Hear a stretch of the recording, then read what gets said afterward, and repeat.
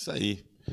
Vamos lá, o assunto que a gente precisa é, trazer, é até um termo revisional, um termo assim de estar bem, de lidar com uma questão do edital de língua portuguesa, é a questão da regência que a gente vai dar uma olhada aqui, né?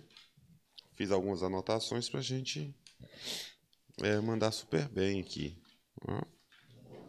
Questão da regência, é, questão regência verbal nominal. Aqui a gente começa um estudo, né? A gente tem regência verbal e nominal. O que, que acontece? A regência. Quando eu falo sobre regência, estou falando sobre uma relação de dependência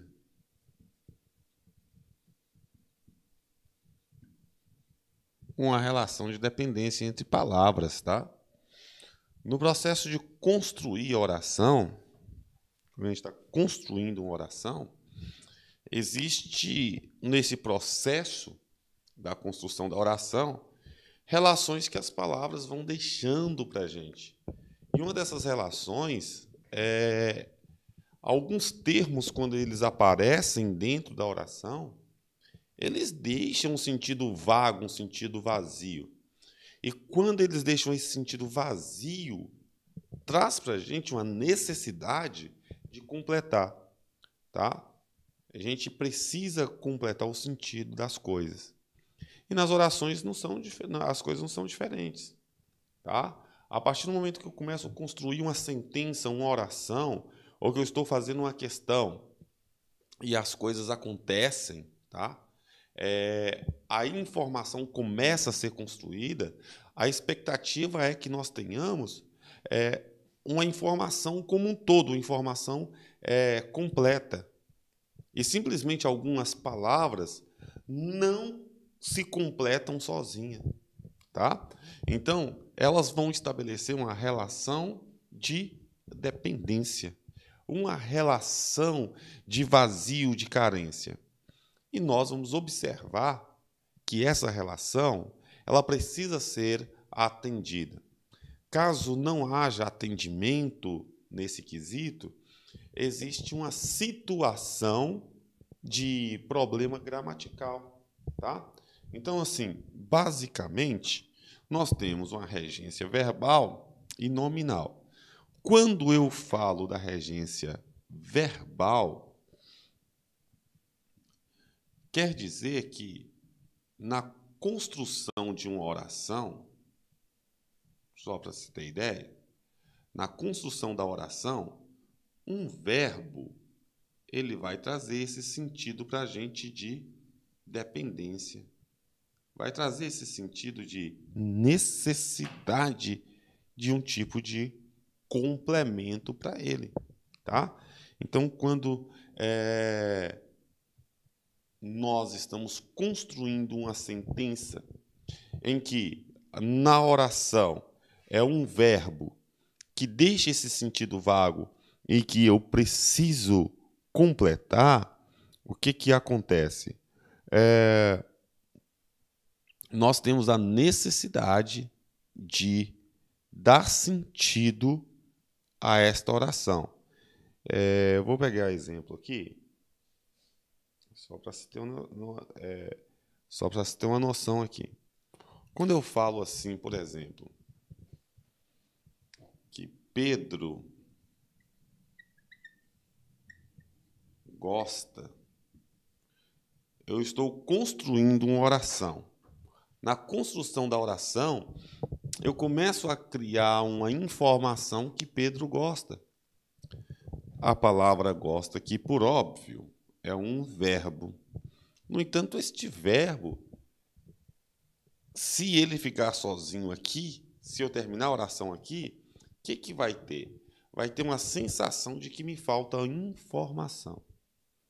Quer dizer que este verbo ele está ele tá com a relação de dependência a um termo aqui que ainda não apareceu, mas ele precisa desse termo para fazer sentido. O que, que acontece dessa feita?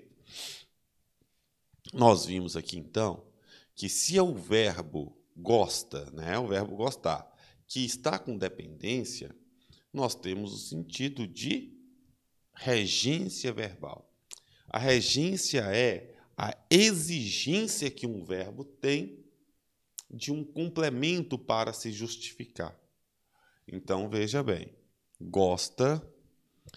O termo que completa o que Pedro gosta é dinheiro. A palavra dinheiro, ela vai trazer um sentido completo ao que Pedro gosta. Então, este verbo ele é transitivo, né? Ele é transitivo, ele precisa de complemento. Ele está pedindo complemento. Eu chamo este verbo de um termo regente. Logo, o que é um termo regente? É aquele termo que solicita, é aquele termo que é carente, é aquele termo que ele precisa de receber um complemento para ele. É só verbo que acontece essa carência? Não, porque eu tenho regência verbal e tenho regência nominal. Então, quando for um nome que precisar de um complemento, trata-se de regência nominal. No entanto, Pedro gosta. A regência traz para a gente que a palavra dinheiro completa o sentido do verbo. Quem gosta?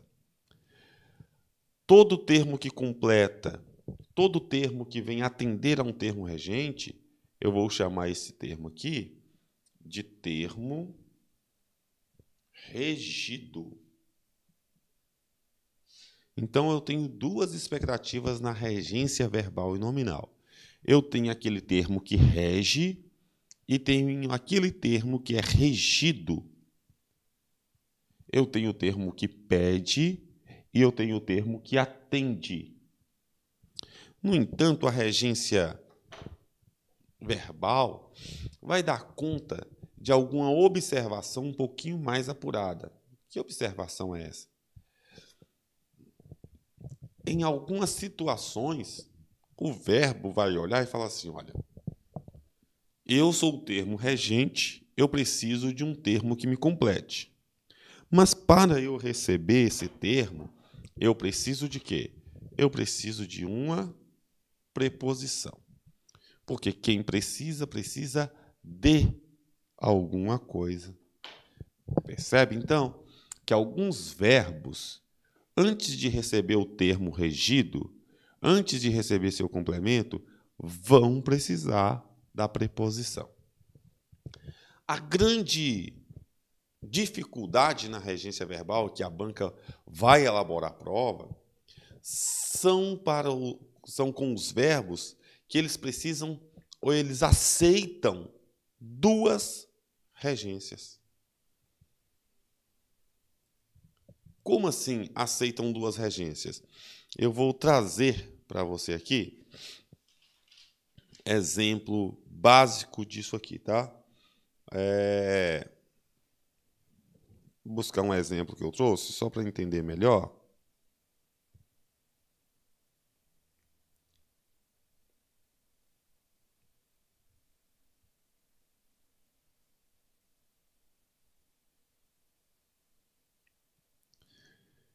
Porque existem verbos que eles aceitam duas preposições, ou seja, ele pode relacionar com duas formas. Por exemplo, olha a regência do verbo assistir.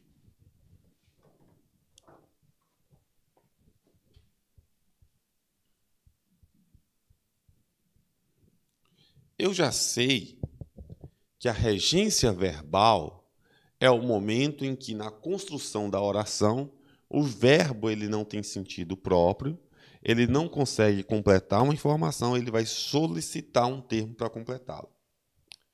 Alguns verbos vão exigir uma preposição. Quando um verbo exige uma única preposição, porque quem gosta, gosta de, o atendimento desse verbo fica maravilhoso. O problema todo, quando nós temos na regência, são verbos que aceitam dois tipos de regências. Por exemplo, o verbo assistir. O verbo assistir pode se assistir. Ele pode ser um verbo transitivo direto ou ele pode ser um verbo transitivo indireto. Como assim? Quando eu falo assim, olha, vamos assistir filme.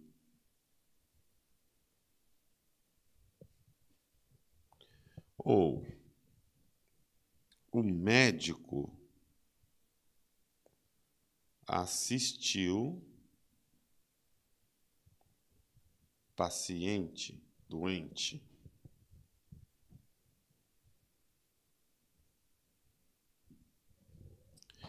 O que, que a observação da regência verbal vai dar conta de que eu tenho aqui o verbo assistir. Eu tenho aqui também o verbo assistir. Qual que é a nossa preocupação? Verbo transitivo, precisa de complemento. Verbo transitivo. O que, que nós temos que observar é qual o significado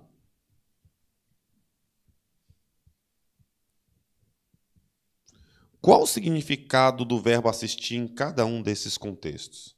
Será que é o mesmo? Quando eu falo que vamos assistir filme, o médico assistiu doente. Qual a relação de sentido tem? Esse verbo assistir significa o que aqui? Assistir filme fala sobre ver filme.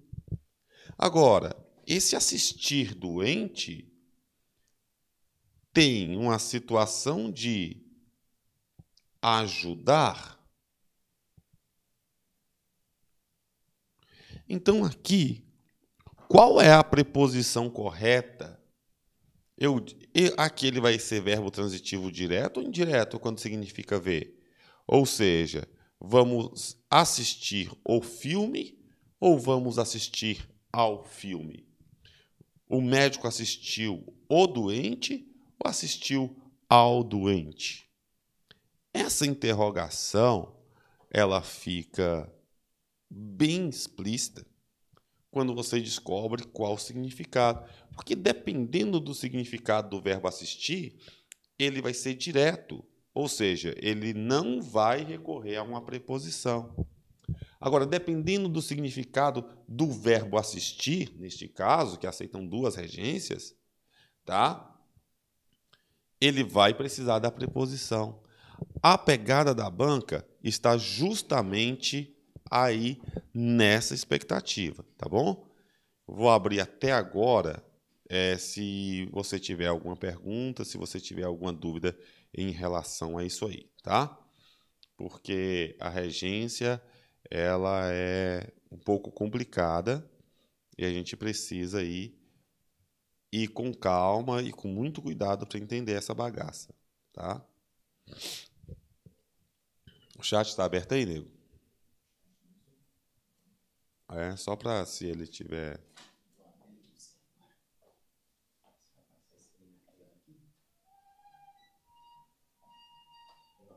Hum? Não?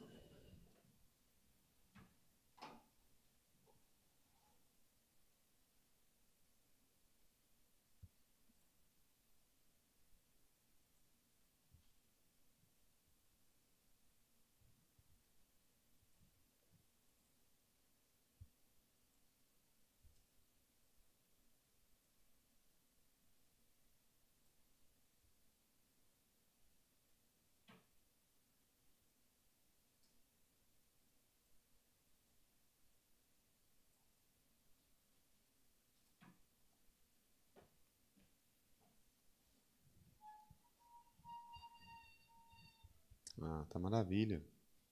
Perfeito. Ali, se tiver alguma dúvida, manda pra gente, tá? E aí?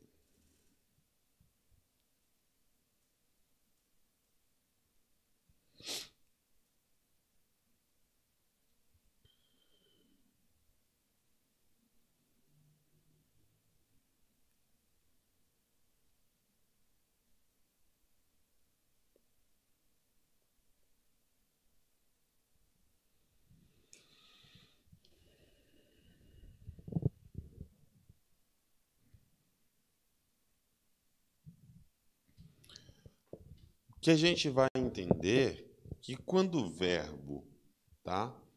Ele tiver um sentido, no caso do verbo assistir, né?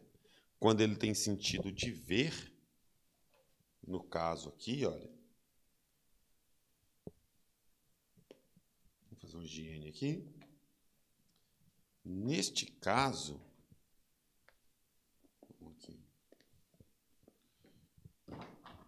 Quando o verbo assistir tem um sentido de ver, ele é verbo transitivo indireto. Quer dizer o quê? Que ele exige preposição.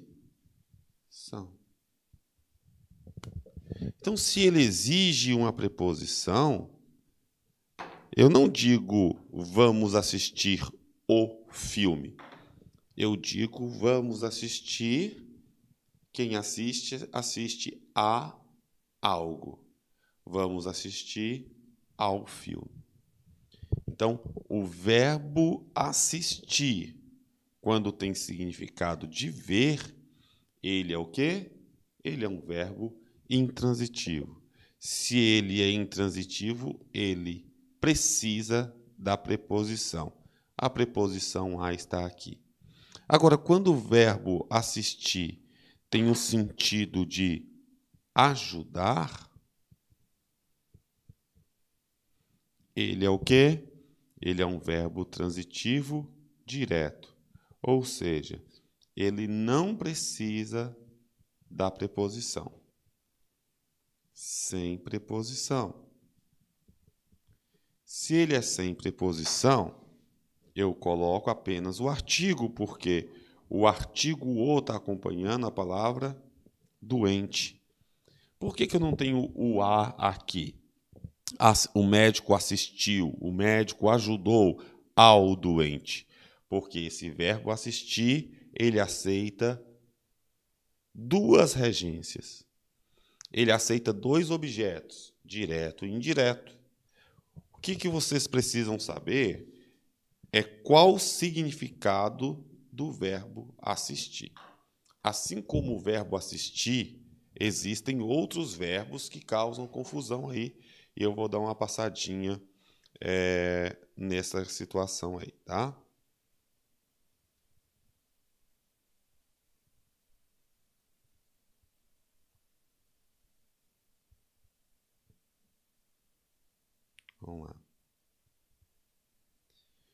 Um verbo também que ele costuma causar uma discórdia é o verbo custar.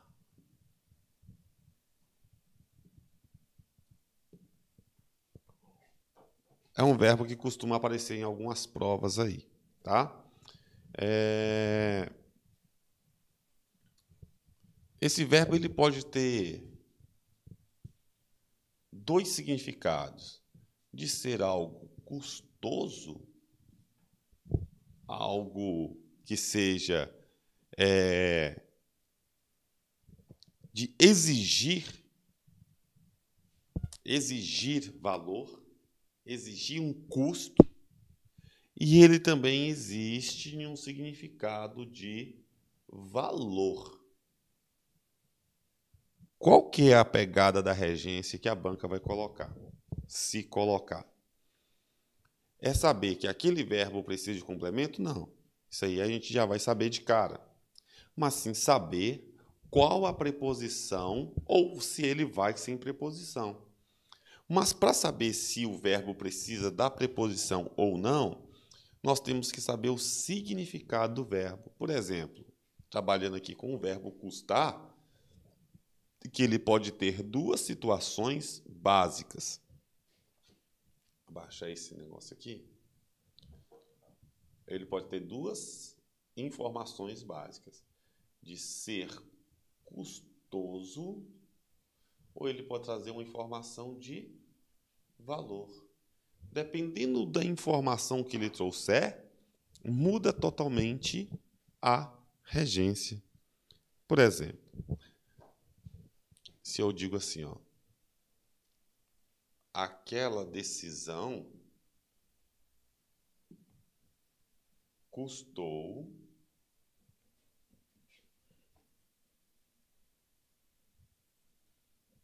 filho. Vamos lá. É um dos contextos, tá? Aí eu falo assim, ó.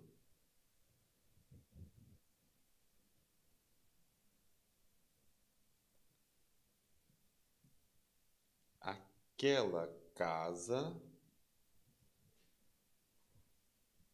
custou. Olha só, lá? Caro. Eu tenho dois sentidos aqui do verbo custar. Veja bem, a mesma palavra, olha, aquela decisão custou é um verbo transitivo. Nenhum valor de ser custoso, ele é verbo transitivo indireto. Quando a palavra, o verbo custar, expressa a ideia de valor, ele é um verbo transitivo direto. Quer dizer, aquela decisão foi custosa, verbo transitivo indireto, ao filho. E quando eu falo aquela casa, verbo transitivo indireto, porque foi custosa. Agora, custou aqui é um verbo transitivo direto.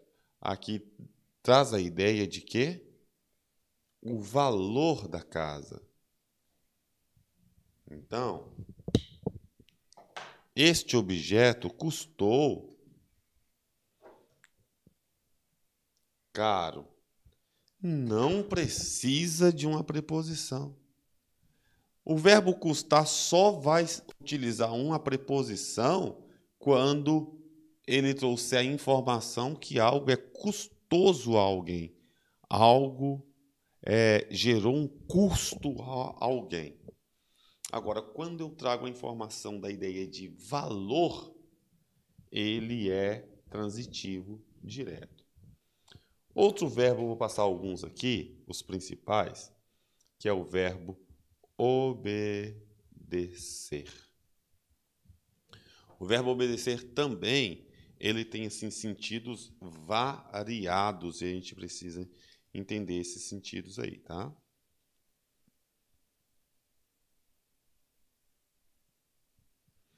Veja bem, é, quando nós temos o verbo obedecer, tá? Eu tenho que tomar cuidado porque o verbo obedecer ele é um verbo transitivo indireto. Se ele é um verbo transitivo indireto, ele vai precisar da preposição. Mas por que, que eu estou trabalhando com este verbo? Porque a maioria dos falantes de língua portuguesa falam esse verbo como, como se ele fosse transitivo direto. Como assim? se eu falo assim, ó, é, obedeça, obedeça o Pai. Esta forma de obedeça o Pai é falada muito. No entanto, é uma incorreção da língua. Porque o verbo obedecer é verbo transitivo indireto, porque quem obedece, aí nós estamos construindo, obedeça. Se ele é transitivo indireto, ele precisa da preposição. Quem obedece, obedece a alguém. Obedeça ao Pai. Por que, que eu coloquei essa preposição a? Porque o verbo obedecer, diferentemente do que nós ouvimos na fala, ele é intransitivo. Ele precisa da preposição, tá? Então tem que tomar muito cuidado com isso aí. Vícios de linguagem, eu sempre comentei que os vícios de linguagem eles são prejudiciais, tá? São prejudiciais. Veja bem. Passar mais um verbo aqui. A gente vai pegar os principais. Os principais verbos. Tem um verbo que ele é muito interessante da gente é, falar sobre ele, que é o verbo proceder, tá?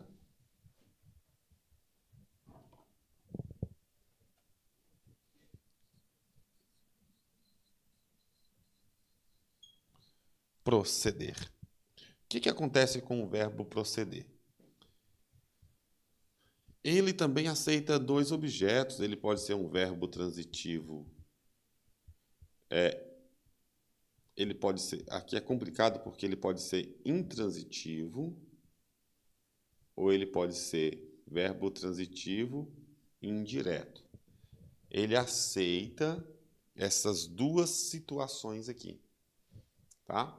Quando eu falo que um verbo é intransitivo, eu estou falando que esse verbo não precisa de complemento. Não precisa de complemento. Então, o que, que é a grande observação que tem que se fazer na regência verbal? Qual que é a grande pegada da regência verbal. É nós entendermos assim. Este verbo neste contexto, como que ele aparece? Se eu falo assim, olha, essa sua desconfiança não procede. Olha só, essa sua desconfiança não procede. Tá? Agora, se eu falo assim, essa desconfiança procede, olha só, só para a gente situações estranhas. Veja bem, quando eu digo assim, ó, essa sua desconfiança não procede. Procede aqui é um verbo. Viu que eu coloquei um ponto final aqui? A informação ficou completa? A informação aqui ficou completa. Deixando esse verbo sem a necessidade de um complemento. Quando eu digo que essa sua desconfiança não procede, eu estou deixando uma informação completa. Este verbo não está precisando de um termo que o complete. Então, esse verbo aqui é o quê? Verbo que não precisa de complemento é um verbo intransitivo. É? Agora veja bem o mesmo verbo proceder, quando eu falo que essa desconfiança procede.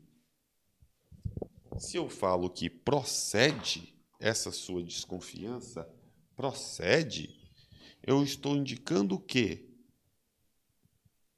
Eu estou indicando origem ela vem. Agora, se ela vem, ela vem de algum lugar. Então, o verbo proceder, quando tem um sentido de origem, de trazer a origem de algo, vai exigir a preposição. Então, é bom que anote isso.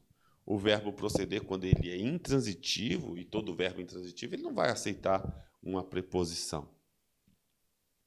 Ele não vai aceitar, ele não precisa do complemento. Agora, este mesmo verbo, quando tem o sentido de origem, de mostrar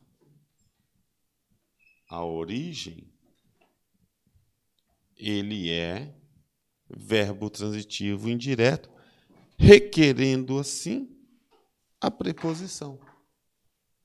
Dessa forma. Então, tem que tomar cuidado com os verbos no que diz respeito à regência. Tá bom?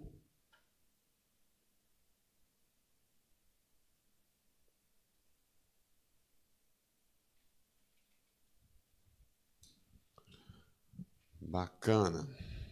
Vamos tacar mais verbo aqui, porque existem verbos que costumam cair em prova, né? Costumam cair em prova. Esses verbos precisam do nosso carinho. Será que tem alguém trabalhando do outro lado, príncipe? Tem não, né? Só nós mesmo. É, gente, o que, que eu faço da minha vida sem um café? Ah, não dá para fazer. Dá para fazer. Vamos lá, então tem um verbo aqui também que ele é figurinha em algumas provas. A gente vê demais nas provas, que é o verbo visar. A esse verbo costuma. Você tá doido. Visa o ou visa a? Antes dele, peraí. É caminho para ele. Que é o verbo querer.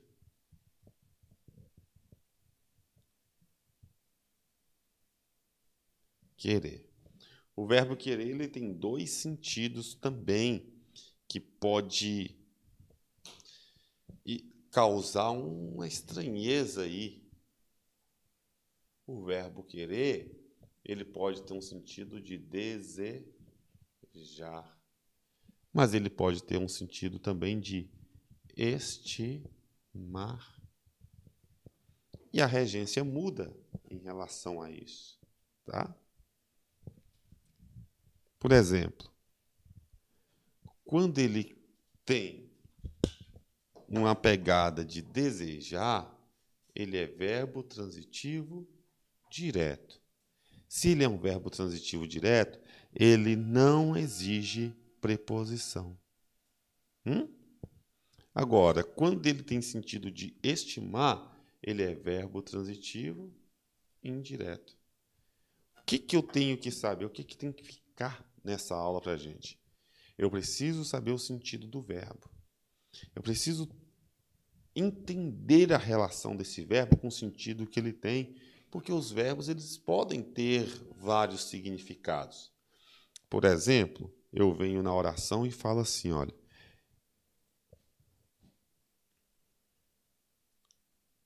quero ficar aqui.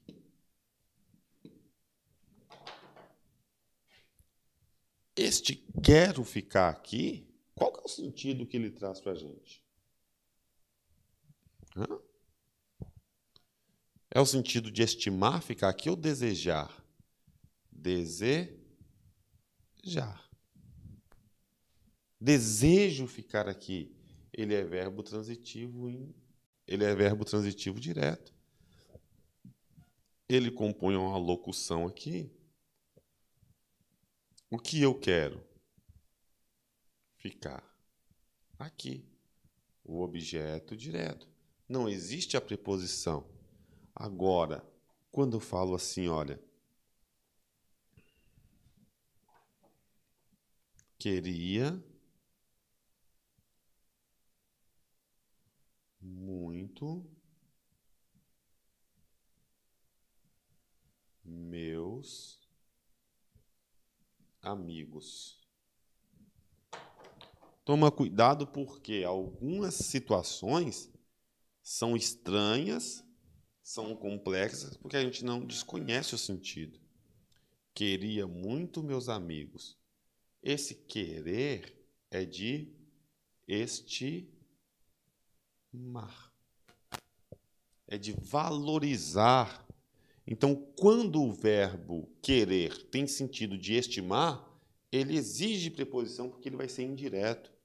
Queria muito aos meus amigos. Olha que estranho. A gente vê isso muito no espanhol. A gente vê isso muito, por exemplo, é, na língua catalã. Geralmente, no aniversário de alguém, o espanhol fala assim, ó, te quero muito. Eu te estimo muito. Eu estimo você. Eu valorizo você. Quando eu falo te quero, não estou falando eu te desejo. Então, quando eu falo assim, queria muito, eu estimo muito aos meus amigos. Cuidado, porque o verbo querer, como estimar, ele é bem perigoso e ele é difícil de ser utilizado, tá? E o que os olhos não vê, o coração não sente.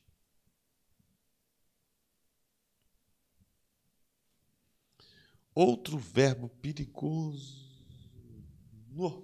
Este aqui é malandro e ele aparece nas provas. Vou passar aqui. Muita calma, muita tranquilidade. Isso é tem que ser devagar. Isso tem que ser bem suave, bem tranquilo para a gente não se perder, né? Parece que a gente está cansado e a gente está mesmo. Né? E quando a gente está cansado, a gente tem que ir como a banda toca. Aspirar. Cuidado com o verbo aspirar. Ô, Príncipe, depois você puder dar um zoomzão aqui para mim.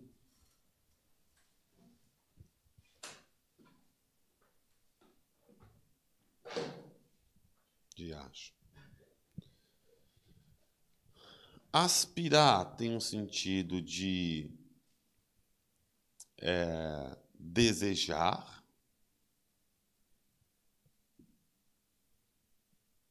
Ele vai. Consegue aí, nego? Deixa eu ver. Tá bom. Cadê? Onde tem mais? Hoje eu tô ceguetinha, né? Beleza, nego. Ah, não, tem menos, porque. É por causa dessa propaganda, de, de, essa peste, dessa propaganda aí. Isso. Bacana demais, meu príncipe. Beleza, negão. O verbo aspirar, ele vai ter também dois sentidos, dependendo do sentido que ele tiver, o que, que vai acontecer com esse verbo? desejar, pretender. Qual outro sentido esse verbo aspirar tem? De respirar.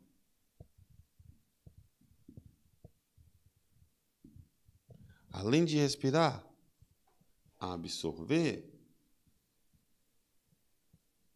Então, nós temos duas composições que, dependendo do sentido, vai mudar totalmente. né? O que, que acontece aqui para a gente é, é, é, entender? Quando ele tem o sentido de respirar, de absorver, ele vai trazer para a gente a ideia de que ele é um verbo transitivo direto. Agora, quando ele tem o sentido de pretender, ele é verbo transitivo indireto. Toda vez que eu falo que ele é verbo transitivo indireto, eu estou falando que ele exige preposição. Como que eu aprendo isso? Decorando. Sem vergonha, tem que decorar. Tá? Quando eu falo assim que ela aspirou escritório. E quando falo assim que ela aspira cargo de gerente. Olha o sentido. Quando eu falo que ela aspirou escritório, eu estou falando que ela desejou escritório? Hã? Eu estou falando que ela pretende o escritório? Ou que ela aspirou no sentido de absorver, de limpar? Hã? Aspirou o escritório no sentido de absorver. Agora, quando eu falo que ela aspira cargo de gerente, eu estou falando que ela deseja, ela pretende o cargo de gerente. Quando o verbo aspirar tem sentido de desejar, pretender, ele é intransitivo. Então, se ele é intransitivo, ele vai precisar da preposição. Ela aspira ao cargo de gerente. Este verbo causa confusõezinhas por aí, tá? Precisa prestar bastante atenção nele. E assim vai por na sequência, tá? O que, que eu aconselho? Existem tabelas dos verbos transitivos, existe a tabela dos verbos intransitivos no que diz respeito à regência. Tem que ler os principais deles. Alguns que eu entendo que caem mais na prova, eu coloquei aqui, mas não exime, não retira a necessidade de continuar pesquisando, tá? Eu vou dar um tempinho aqui, dois minutinhos para copiar, dois minutinhos para absorver porque eu vou entrar com a regência nominal para mudar um pouquinho aí e trabalhar com a nossa questão, tá? Dois minutinhos para o descanso mental. De hora em hora eu faço um intervalo de cinco minutos, tá bom?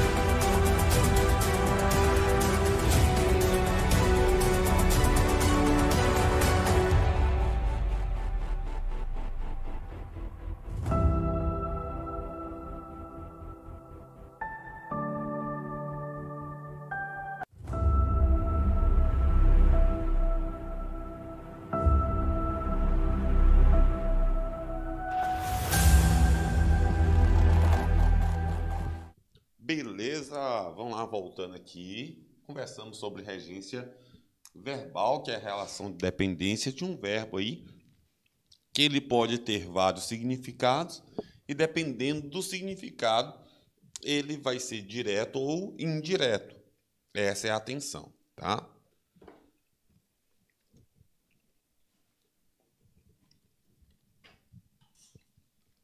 Agora, quando a gente fala sobre regência,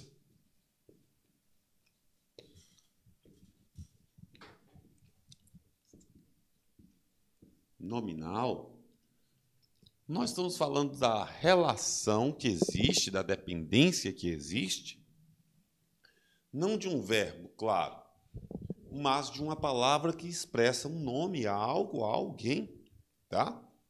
Então, quando a gente fala sobre regência nominal, nós estamos falando sobre a relação de dependência também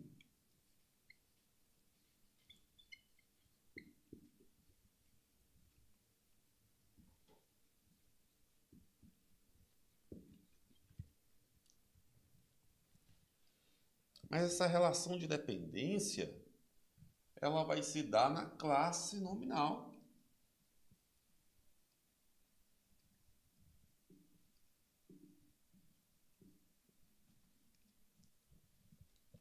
Essa classe nominal é a asa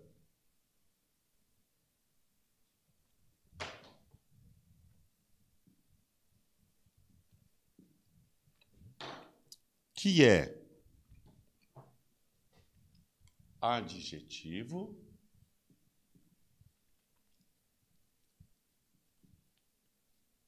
substantivo e advérbio. Adjetivo, substantivo, advérbio, eles são da classe, da classe nominal. E alguma vez, quando eles aparecem na oração, eles vão precisar de um termo para completá-los. E toda vez que a asa aparecer, ou seja, o adjetivo, substantivo, advérbio, aparecerem dentro de uma oração e trouxerem essa carência, ou seja, essa necessidade de serem completados por algum termo, nós teremos uma questão de relação de dependência. E quando eu tenho uma relação de dependência, eu tenho sendo praticada ali uma regência de nomes. Ou seja, uma exigência da classe nominal. Tá? Vamos pegar aqui, por exemplo, começando ali, quando a gente fala sobre o adjetivo, tá? Eu coloco aqui, ó, a regência nominal, eu vou pegar o número 1 um do adjetivo.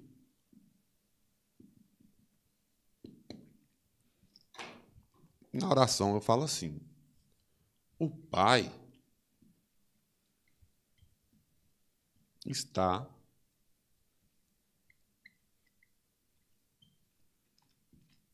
orgulhoso.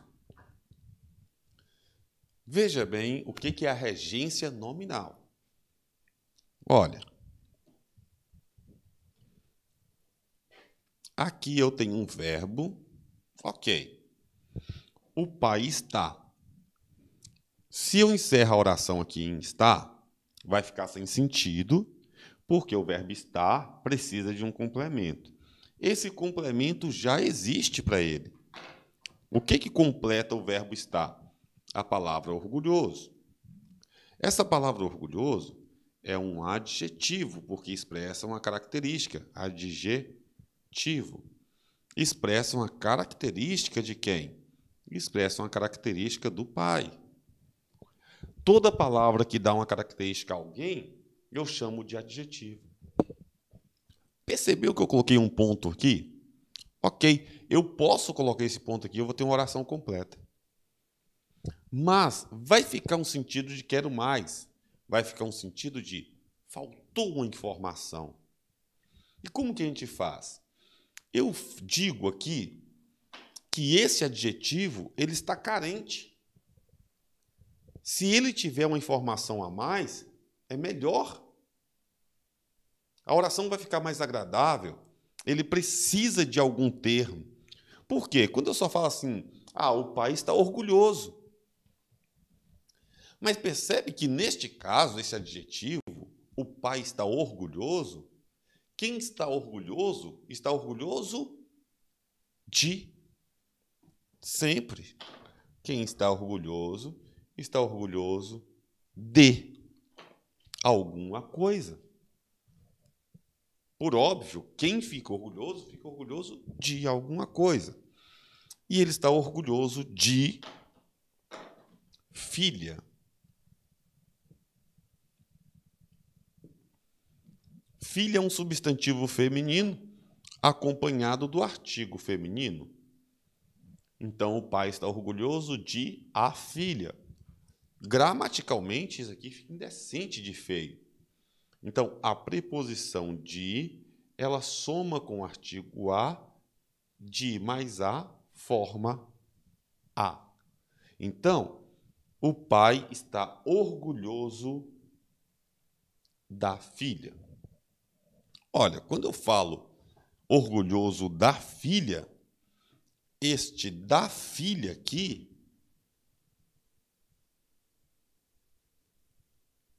ele está trazendo uma informação que completa o motivo do pai estar orgulhoso. Então veja que essa palavra orgulhoso aqui é um termo regente. O que é o termo regente? É um termo que precisa de uma informação a mais para ele. Qual o termo que está completando? o da filha. Então, essa expressão da filha é o termo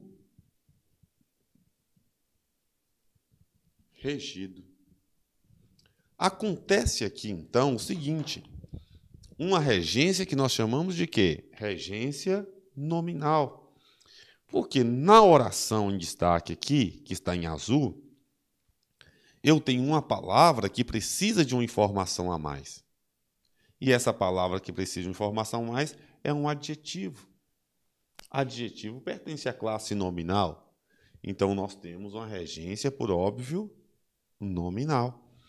Essa regência acontece também com substantivos. Quer ver? Dois.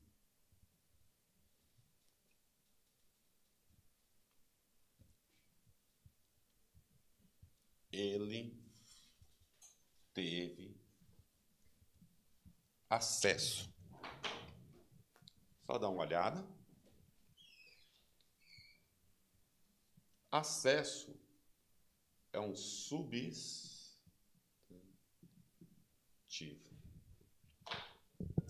É uma palavra que é um substantivo. Ele teve acesso. Se eu coloco um ponto final aqui, a expressão vai ficar um pouquinho vaga de sentido. Vai ficar um pouquinho sozinha, carente. Porque quando eu falo que ele teve acesso, fica um, um, um ponto de interrogação. Mas teve acesso a quê? Percebe? Que no caso aqui, um substantivo está carente, um substantivo está precisando de um termo para completar, um substantivo está precisando de algo que vai completar o seu sentido, e eu venho e faço aqui, olha. Teve acesso. Quem tem acesso tem acesso a alguma coisa. A documento.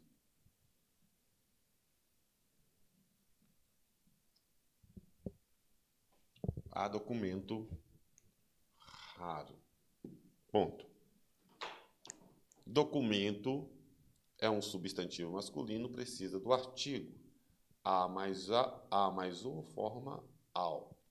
Então, ele teve acesso ao documento raro. Olha só que aqui eu tenho ao, o a atendendo aqui a exigência do substantivo, porque quem tem acesso tem acesso a alguma coisa. O que, que nós estamos estudando aqui é a questão da regência nominal. Quando uma das palavras de nome, uma das palavras da classe nominal, exige um complemento. Então, essa, essa palavra acesso é um termo que precisou de um complemento.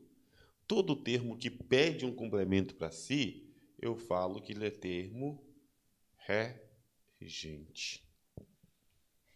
Termo regente é todo aquele termo que precisa de um complemento. O que, que está completando esse termo regente? Documento. Então, documento raro é o termo que nós chamamos termo regido. Então, o que, que nós vimos aqui no exemplo A, no exemplo número 1, tá? que o termo regente está sendo o quê? Um adjetivo. Agora, o termo regente aqui está sendo o quê? Um substantivo. A regência nominal se dá através do adjetivo, que às vezes precisa de um termo para completá-lo. Também, um substantivo pode ser carente e ficar vazio de sentido, trazendo a necessidade de completá-lo. Tá bom? Tem que tomar cuidado. O outro termo que pode precisar é o advérbio.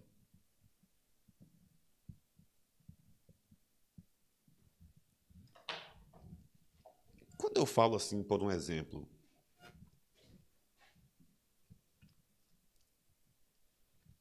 o presidente agiu. Olha só, verbo. Aí eu venho e falo assim, contrariamente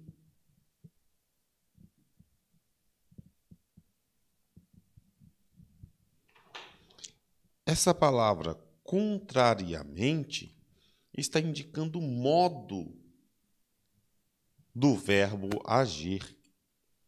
Então, toda palavra que expressa uma circunstância ao verbo, acompanha o verbo, adicionando a ele uma ideia de circunstância, eu falo que é um advérbio.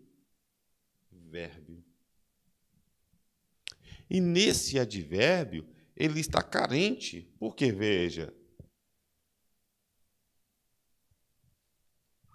Quem age contrariamente, age contrariamente a alguma coisa.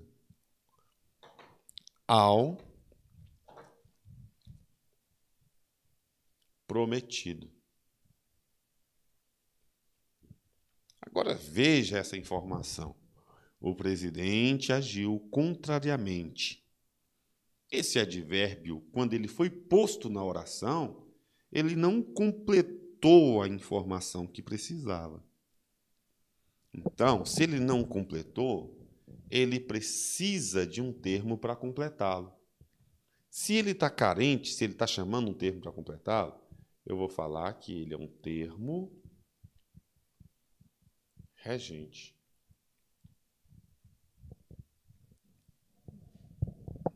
É um termo regente.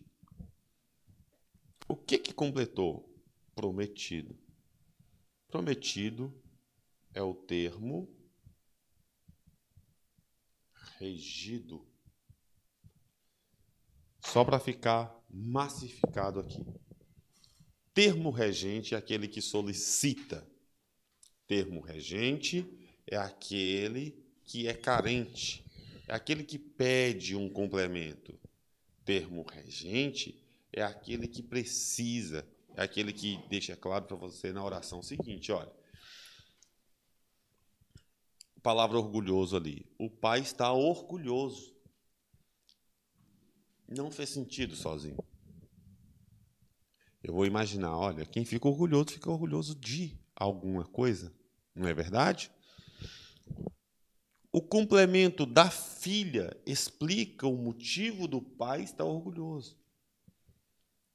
E esse da filha no, 1 ali, ali ó, o da filha, no número 1, é o termo que vai completar. Então, provável tem uma relação de dependência de quê? De um termo regente, que é o termo que pede um complemento para si, e de um termo regido. Eu chamo de termo regido aquele termo que completa o sentido. Assim como aqui no substantivo, eu falei, ele teve acesso. Acesso é um substantivo. Mas quando esse substantivo entra na oração, ele não tem um sentido completo sozinho. Ele ainda vai precisar de um termo para completar, para agregar informação a ele.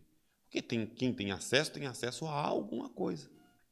Então, quando eu coloco documento raro, a expressão documento raro explica o acesso que ele teve, completa então o termo regente acesso. Por que ele é termo regente? Porque ele pede, ele precisa de um complemento. Ele precisa de uma expressão que justifique. Nós temos o termo regente. E você vai observar que na regência nominal, todos os termos, regente e regido, eles são ligados por meio de quê? Está em vermelho ali, ó. Isso aqui, ó. Da ao ao. Da ao ao o que, que é isso? Preposições. Então na concordância nominal sempre vai haver uma preposição que vai estar entre o termo regente e o termo regido. Regência verbal e nominal está aí tá a regência verbal e nominal ela entende, ela é entendida através da relação de dependência. Se é o verbo que está dependendo de um termo, a minha regência, a minha exigência está sendo a exigência verbal. Mas nessas orações não é o verbo que está exigindo nada, mas é o quê? Essas três classes da asa, adjetivo, substantivo e advérbio. Regência verbal, ela aparece em prova também. Tá? Mas lembrando que na regência verbal eu tenho que me preocupar apenas com três classes de palavras. Nessas três classes de palavras, acontece a relação entre um termo regente e um termo regido. Quando a gente fala, começar a explicar algo sobre crase,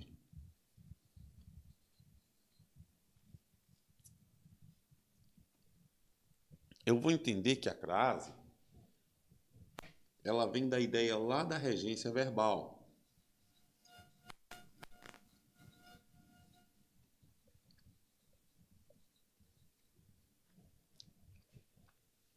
E ela vem da regência verbal, mais especificamente sobre os verbos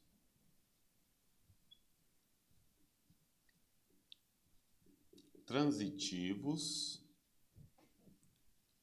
indiretos,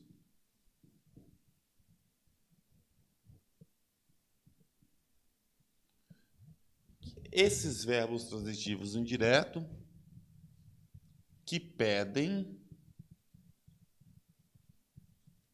a preposição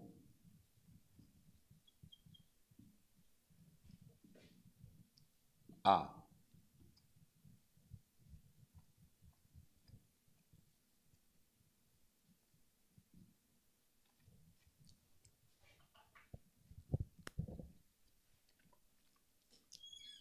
Qual que é o princípio, então, da crase?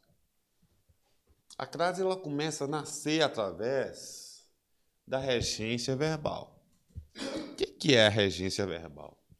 São verbos transitivos indiretos. Esses verbos transitivos indiretos, quando eles pedem uma preposição a, ou seja, todo verbo que pede uma preposição a pode estar dando origem ali ao nascimento de quem? ao nascimento daquilo que nós chamamos de crase.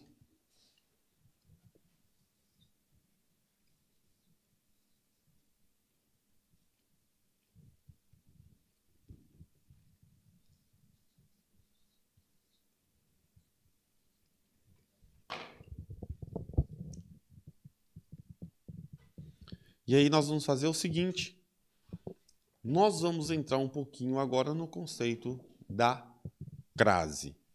É bem rápido, é bem objetivo, tá? Eu vou pedir o Pins para colocar a vinhetinha aí cinco minutinhos para a gente oxigenar da regência e entrar agora a pouco com a nossa crase, beleza? A gente volta em instantes.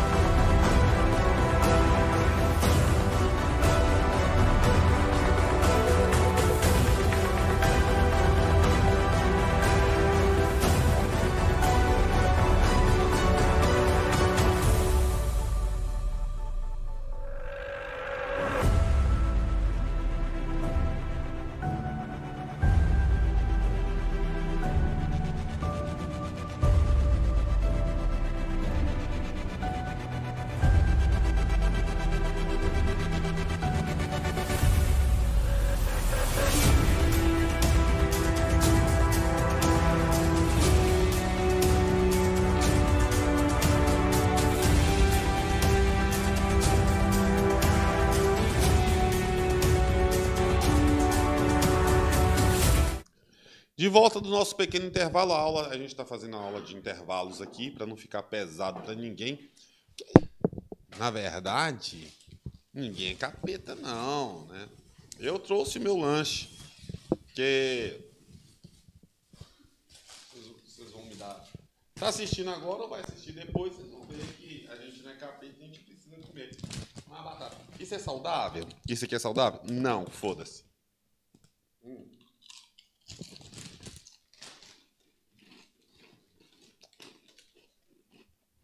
Não é saudável, falo de boca cheia, não é educado.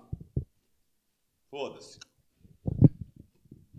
No curso de formação seus, não tem esse negócio de mimimi, não, pô. Pode parar. Coloca esse negócio de uma batatinha por vez na boca, foda-se também. Coloca tudo de uma vez. Tudo. Hum.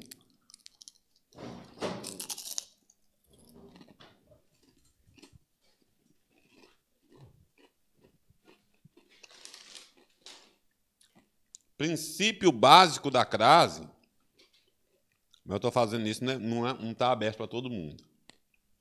É para a nossa turma de BH. Não que vocês não, não merecem ser educados com vocês, mas porque a gente já tem intimidade, sabe? A gente é amigo. E pede amigo, a gente faz muita coisa, né? Uhum.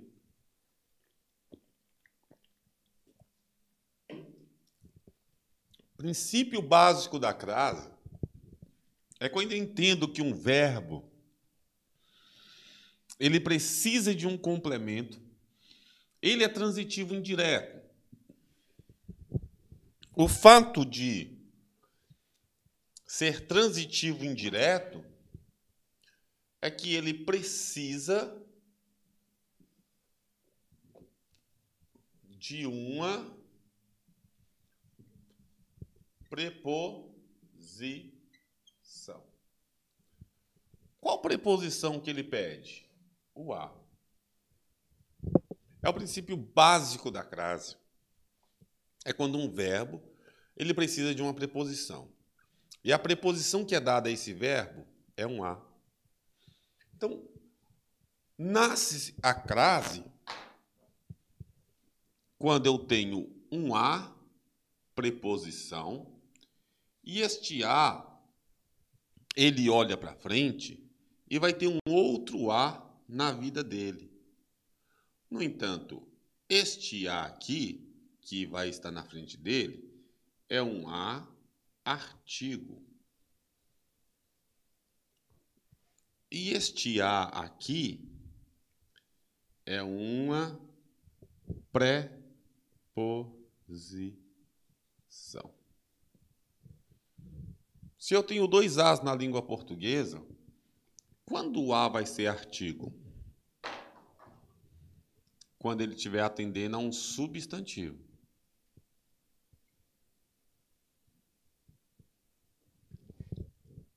Quando esse A vai ser preposição, eu já disse aqui, quando ele estiver atendendo a um verbo. Aqui vai o ditado, me diz com quem tu andas, que eu te direi quem tu és. Se o A está junto com o substantivo, ele é artigo. Se o A está junto com a preposição, se o A está junto com o verbo, ele é preposição. Então a crase acontece quando um A preposição vê o A artigo. A mais A igual a C. Podemos fazer essa fórmula básica aqui. A mais A igual a C. É a fórmula da crase. A preposição mais A artigo vai dar a crase. Exemplo disso.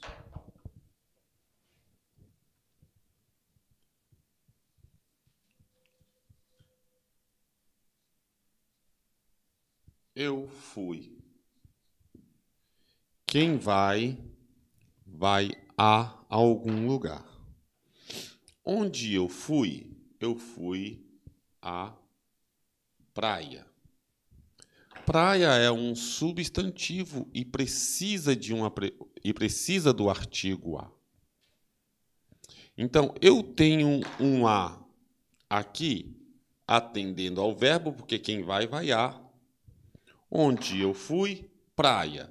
Mas eu não falo assim, praia é bonita. Eu falo, a praia é bonita.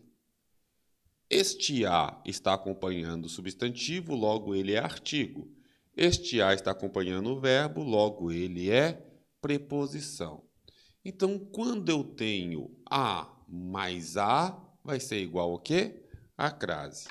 Para não ficar dois as aqui, o que, que vai acontecer? Esses dois as eles vão se juntar. Então, a expressão vai ser escrita como? Aconteceu a fórmula de A mais A igual a C? Sim. Então, eu vou dizer assim, ó, eu fui. Os dois As fizeram a soma. A praia. No entanto, este A aqui, ele vai receber um acento.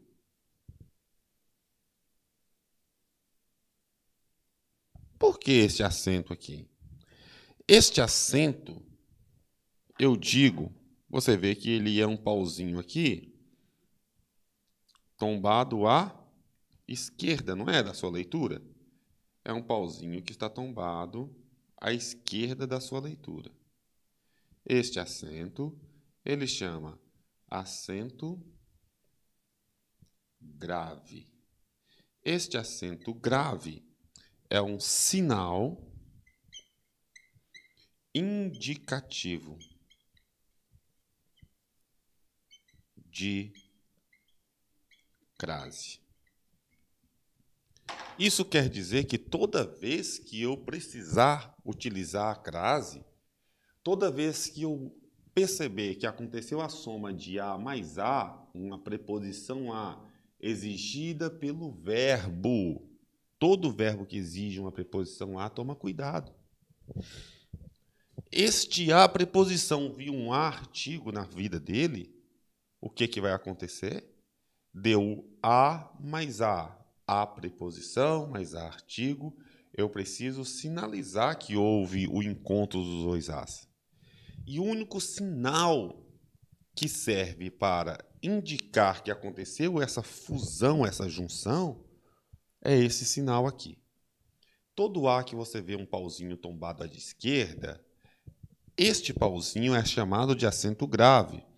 E este acento grave é o sinal que indica ali para quem lê que ali houve o A mais A. Houve, então, a crase. Tá? Então, é o princípio e regra geral da crase. A crase, ela tem três sentidos. Tá? Vamos lá.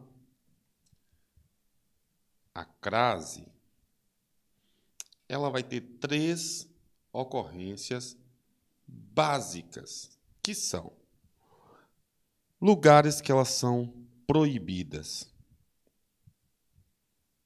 que nós chamamos de casos proibitivos. O que, que são casos proibitivos? São situações em que nunca haverá crase. Não pode ter crase. Eu vou passar aqui alguns casos que não pode haver crase, de maneira alguma. Não vai nunca ser utilizado o acento grave, porque nos casos que eu passar aqui não podem, são casos proibitivos. Existem casos que a crase já vai ser obrigatória.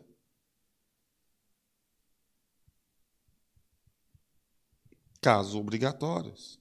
Casos obrigatórios. E existem casos que nós chamamos de facultativos. Significa dizer quando eu falo que eu tenho um caso facultativo da crase, eu estou dizendo que eu coloco a crase se eu quiser. Cuidado.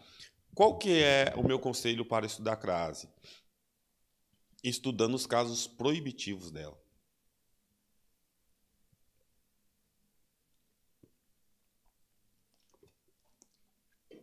se eu tenho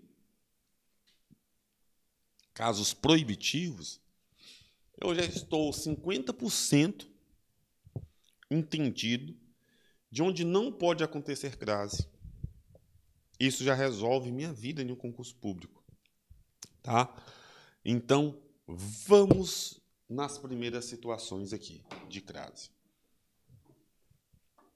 Já chamando a atenção aqui para os casos proibitivos.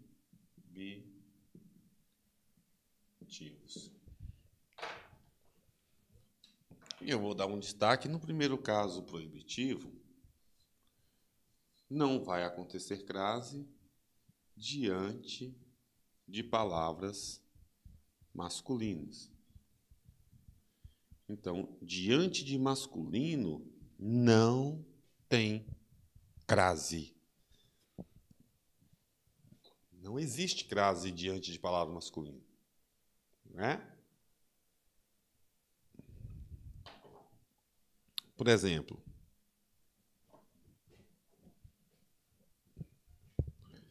referiu a juiz corrupto.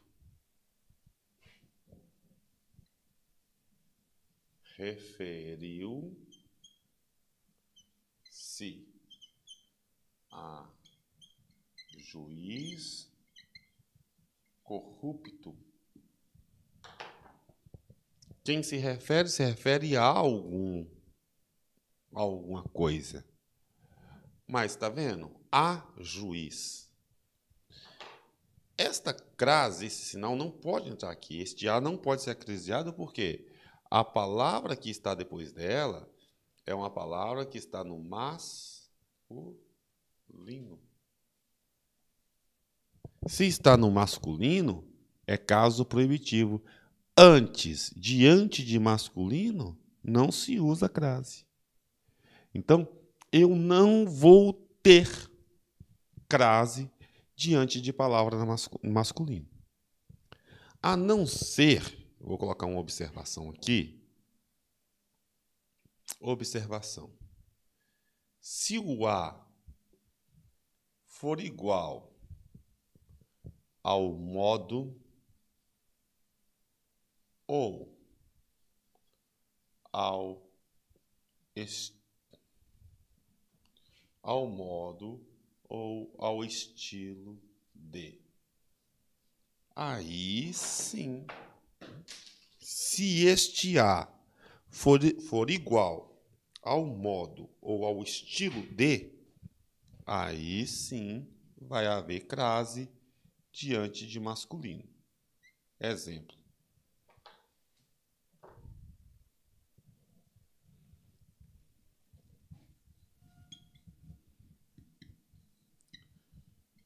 Fez um gol a Pelé. Este A aqui vai receber uma crase, ó.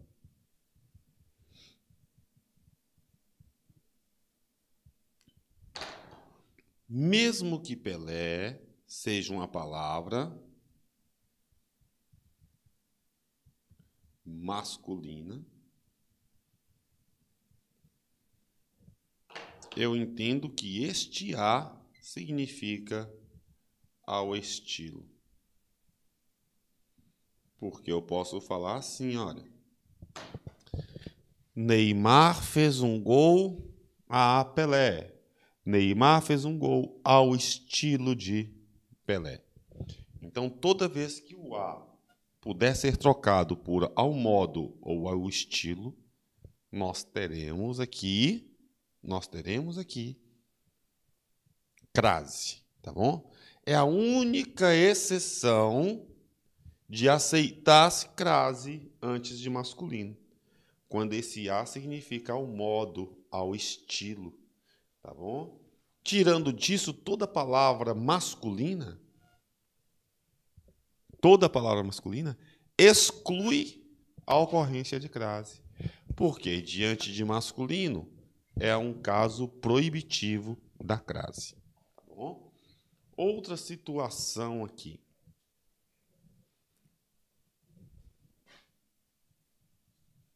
Diante de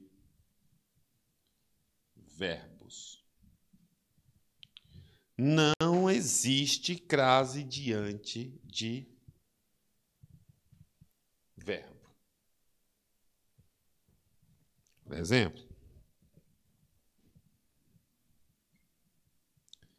eles estavam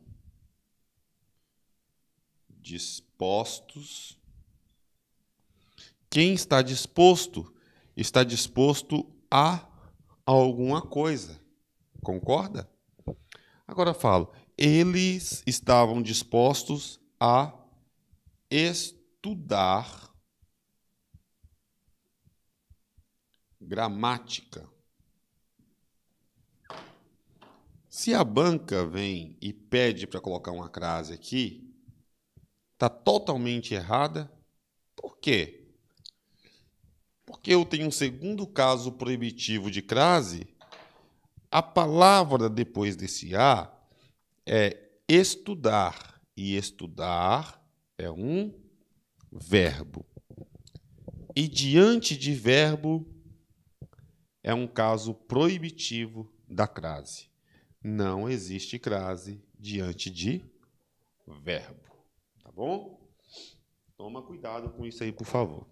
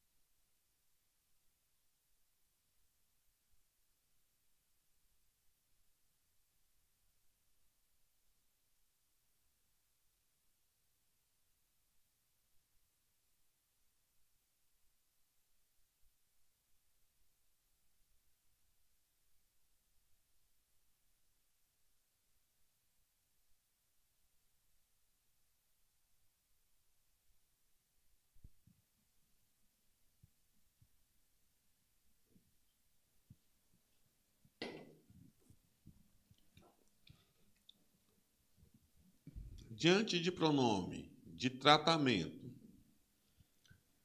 indefinido,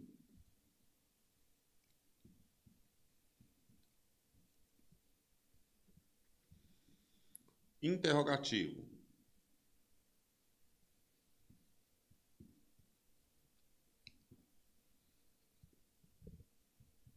diante desses pronomes, não haverá crase e pronomes pessoais, não haverá a bendita da crase, tá? Veja bem.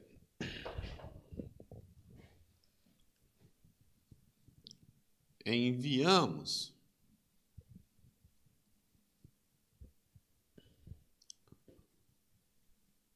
um convite a vossa é,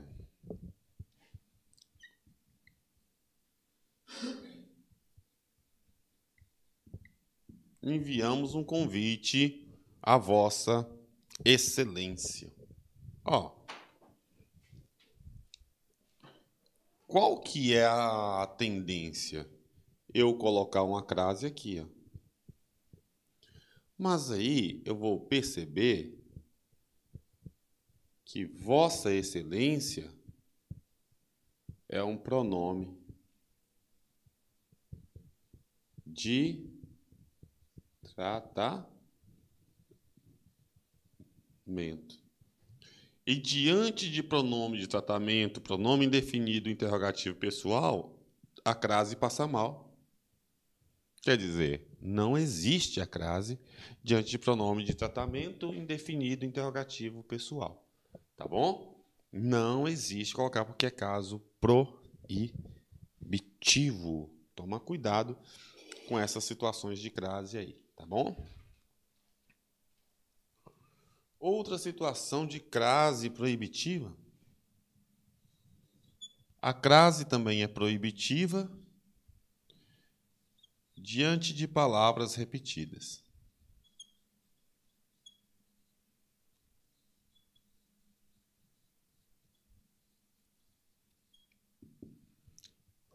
Palavras repetidas, por exemplo, eles ficaram cara a cara. Ou frente a frente. Mano a mano. A tendência de querer colocar a crase aqui, ela vai acontecer. A vontade, alguns lugares até vai aparecer. Mas quando você vê que cara, essa palavra cara, é a mesma palavra depois da, do a, são palavras repetidas. E diante de palavras repetidas, entre palavras repetidas, crase proibidas. Não existe crase em palavras repetidas. Não existe. É o quarto caso proibitivo de crase.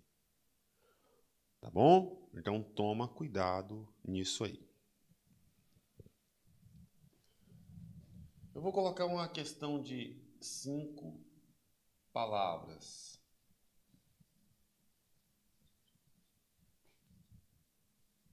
Casa e terra. As palavras casa e terra, elas não recebem crase se elas não tiverem definidas. Então veja. Palavras casa e terra indefinidas.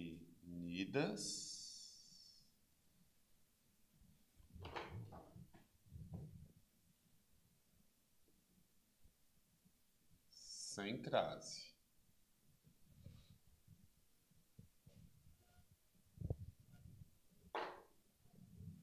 Por exemplo, voltei à casa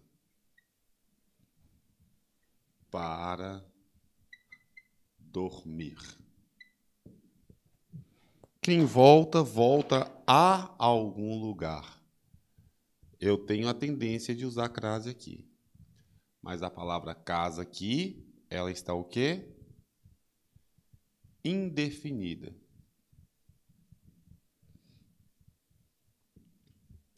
Quando a palavra casa e terra está indefinida, a crase é proibida.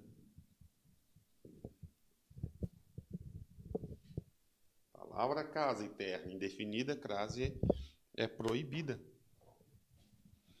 Isso mesmo, só estou falando que haverá crase quando a palavra casa e terra estiver definida qual é. Tá? Apagar aqui para a gente ir tocando o barco nessa questão aqui. Então veja bem.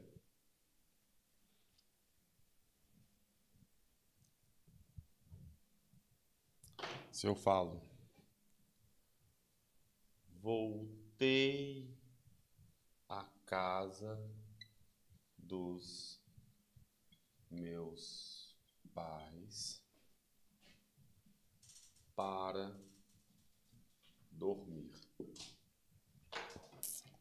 Neste caso, já haverá crase. Aqui não tem crase, porque a palavra está indefinida. Aqui tem crase. Por quê? Qual casa que eu voltei? A casa dos meus pais. Definido.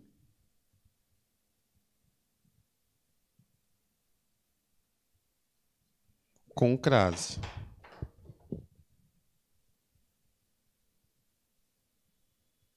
Então, o que, que a gente vai entender? Toda vez que a palavra crase não estiver sendo especificada, não estiver sendo determinada, qual casa é? Casa indefinida, crase proibida. Casa definido, com crase.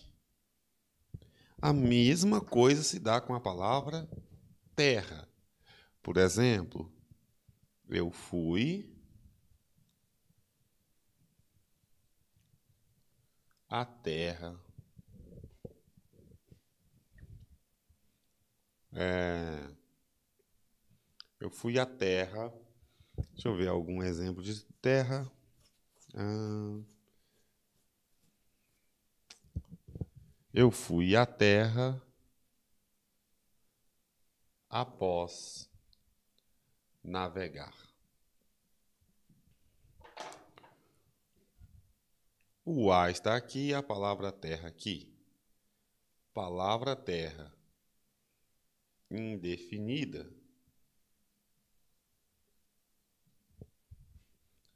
A crase é proibida. Palavra terra indefinida, a crase é proibida. Agora, se eu falar assim, tá? Olha, eu fui a terra do vinho. A palavra terra está sendo definida qual é. Eu não fui a qualquer terra. Eu fui à terra do vinho. Então, a terra do vinho está sendo definida qual terra é. Quando a palavra terra está sendo especificada de qual terra trata-se, existe o caso obrigatório da crase. Então eu venho aqui e coloco o sinal da crase. Existe uma situação da palavra terra. Voltaram à terra.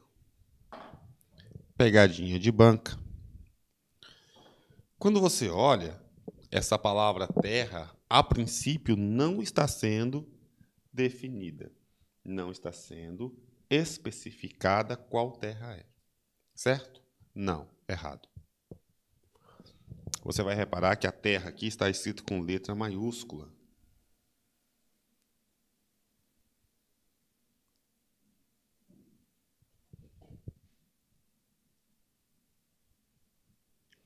Quando a palavra terra aparece com letra maiúscula, ela está se referindo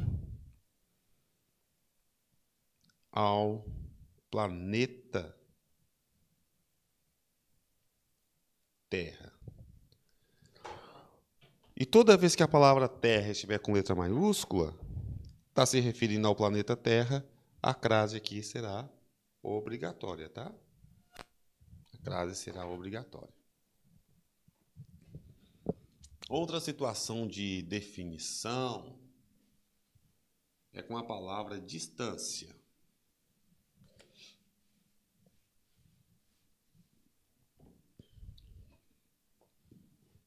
Só para ter uma ideia. Palavra distância. É a mesma coisa da palavra terra e casa. Se a palavra distância estiver dentro, sendo definida, haverá crase. Por exemplo, educação. A distância.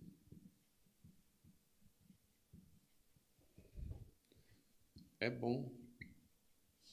Educação à distância é bom. Haveria crase aqui? Não, não haveria. Porque aqui neste caso a palavra distância está indefinida. Então, não haverá crase. Agora, se eu falo que o acidente ocorreu à distância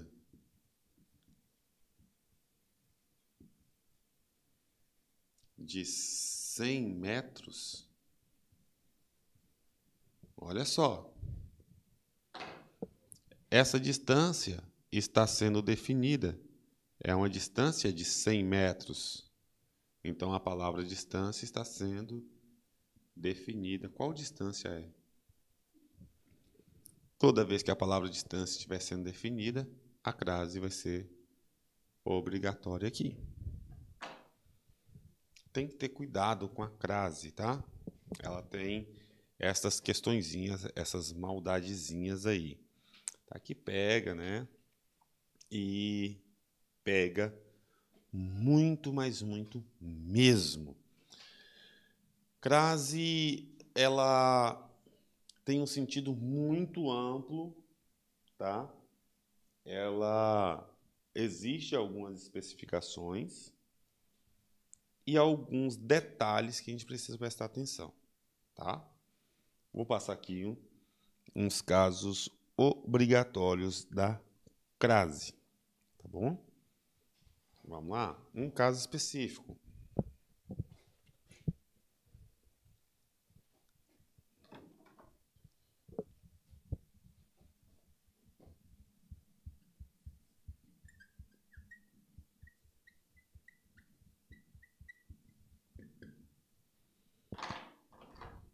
Não pode espantar com o nome. Locução. Adverbial feminina. Na locução adverbial feminina. Locução adverbial feminina. Vire à direita.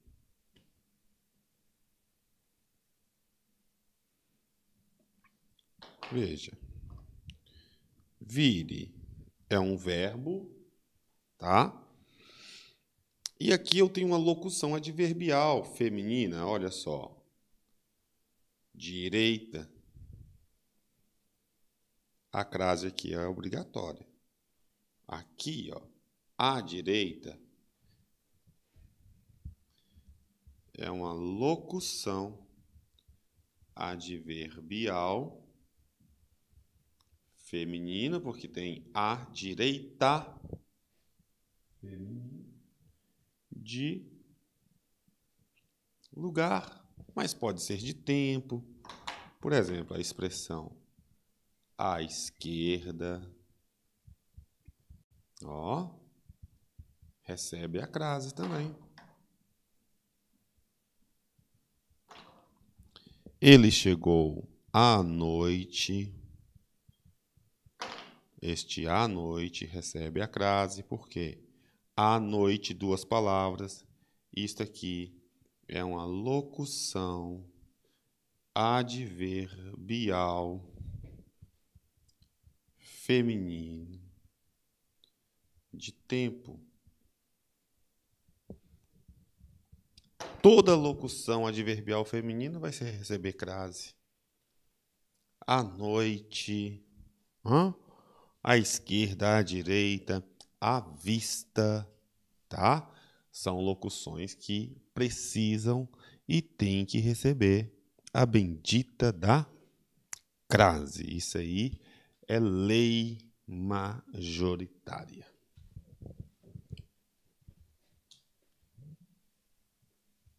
Vamos lá, então.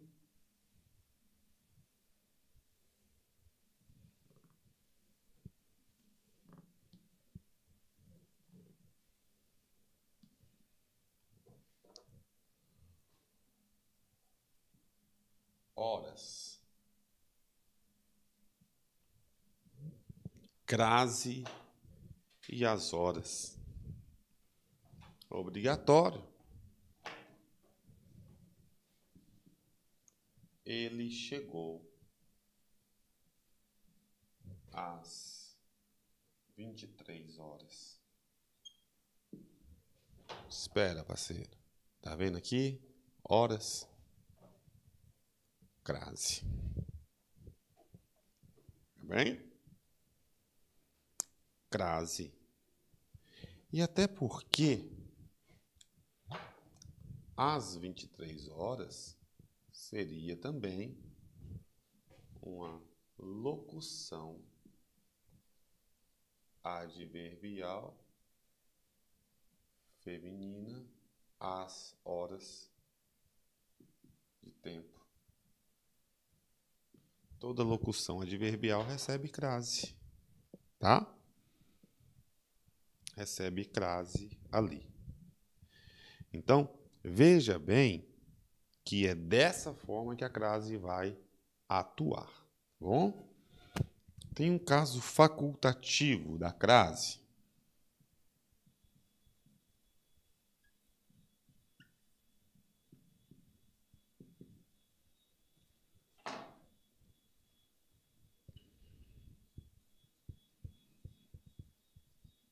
Após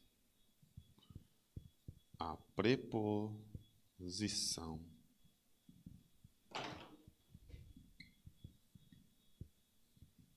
até. Após a preposição até, a crase é facultativa. Por exemplo, vamos até a sala do diretor. Se fosse sem a preposição até, vamos. Quem vai, vai a algum lugar. A sala, palavra feminina, a sala do diretor. Na segunda opção, a, a crase aqui seria obrigatória. Porque quem vai, vai a algum lugar. E onde está indo? Sala, substantivo feminino. Se é um substantivo feminino, deu A mais A. A mais A é igual a crase. Mas no caso da oração A, que eu vou chamar de A, vou chamar de oração B, antes do A tem uma preposição até. E é um caso facultativo, quer dizer, você coloca se quiser. Posso colocar a crase ou pode ficar sem crase. É um caso facultativo. Na preposição até, anote isso. Toda vez que aparecer uma preposição, a preposição até, e logo após esse até tiver um a, a crase é um caso facultativo ativo. Quer dizer o quê? Você coloca se quiser. Se não quiser, você não coloca. Tá bom? Vamos dar uma respirada na crase aqui para massificar. Joga a nossa vinheta, princípio, por favor. E vamos descansar e a gente volta para o outro conteúdo. Bem?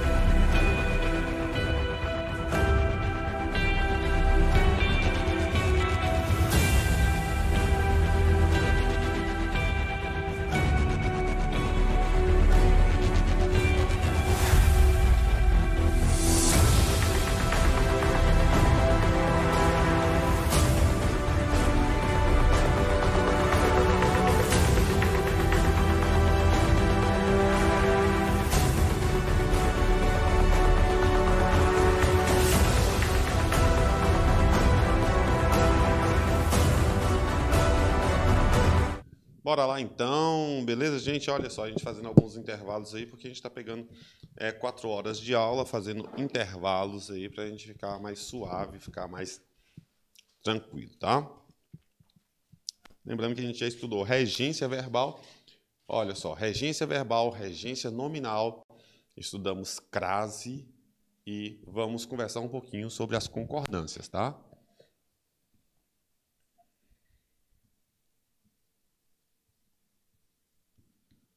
Concordância. Primeiro sobre a concordância verbal. A concordância verbal é a habilidade que eu tenho de deixar igual algumas informações. Você deixa igual. Informação de número. Tá? Informação de número. Quando eu falo sobre informação de número, eu estou falando entre plural e singular. São as informações que eu tenho que deixar igual no que diz respeito à concordância é, nominal, a concordância verbal e a informação de pessoa. Quando eu falo informação de pessoa, estou falando sobre primeira, segunda e terceira pessoa. Quer dizer o seguinte, que eu vou deixar igual, vou observar uma relação entre sujeito e verbo. O que eu sei da concordância verbal é que o verbo é um termo regido, regido, não vou usar a palavra regido, não confundir com regência. É o termo que flexiona de acordo com o sujeito. E o sujeito é o termo determinante. Na relação da concordância verbal, você precisa só observar sujeito e verbo. Apenas isso. O resto da oração pouco importa para a gente. Como assim pouco importa, professor? Eles não são fundamentais. Eu tenho que analisar só o sujeito e o verbo na oração. Sabendo-se que o sujeito é o termo determinante de uma oração. Ele determina como que o verbo deve flexionar, tá? Então veja bem, eu tenho que observar o sujeito da oração e saber em qual número ele está, em qual pessoa está. Porque assim eu vou determinar a flexão do verbo. Se o sujeito estiver no plural, o meu verbo tem que estar no plural. Se o meu sujeito estiver na segunda pessoa, o verbo tem que estar na segunda pessoa. O que, que as bancas fazem? É afastar o sujeito e o verbo. Por exemplo, fala assim: aconteceu.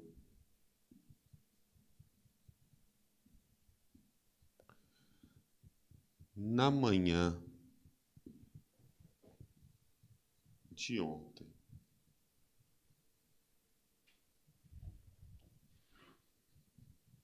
Após o café,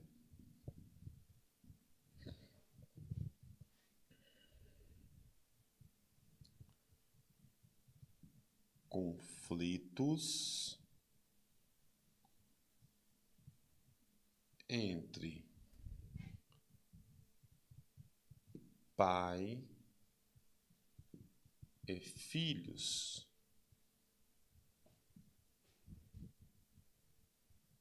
Na casa da avó.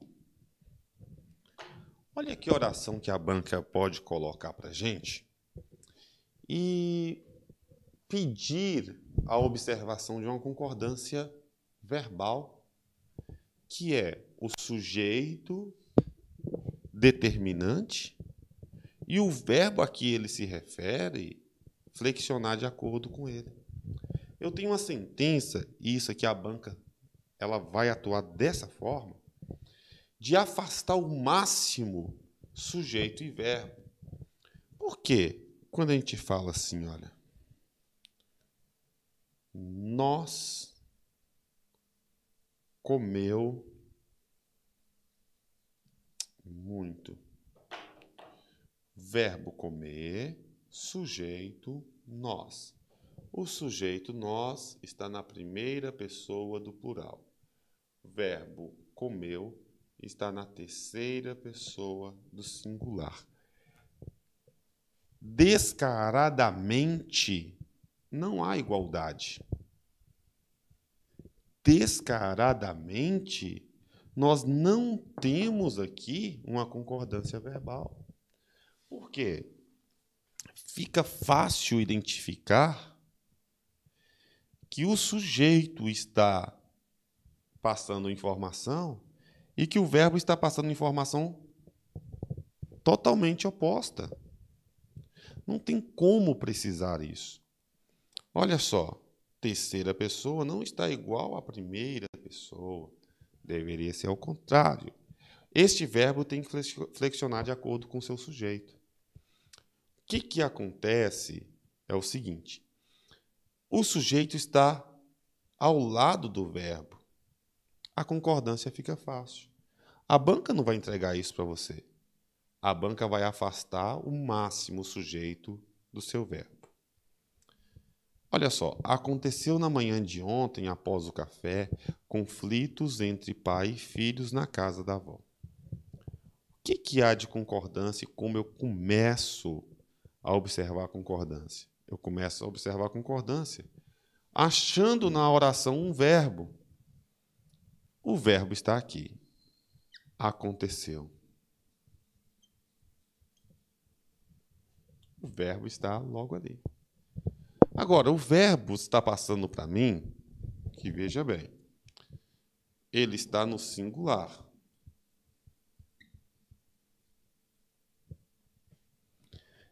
E ele está na terceira pessoa. Vou trocar aqui. Esse verbo está na terceira pessoa do singular.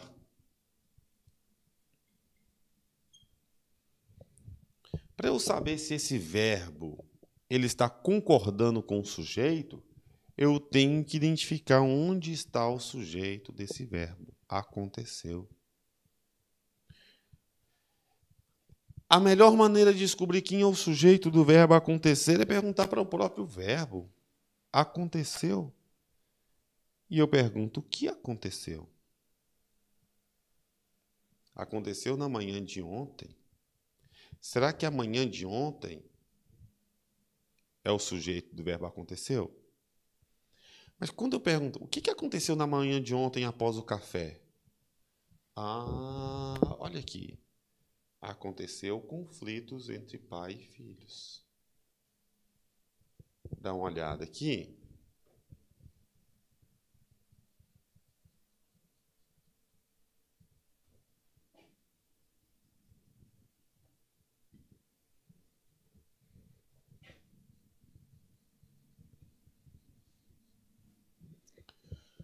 Quando eu falo que aconteceu, aqui eu tenho sujeito. O que, que de fato aconteceu? Conflitos é o núcleo do meu sujeito.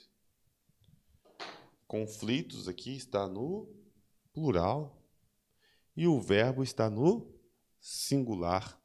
Não houve daquela forma concordância o verbo não está igual em número e em pessoa.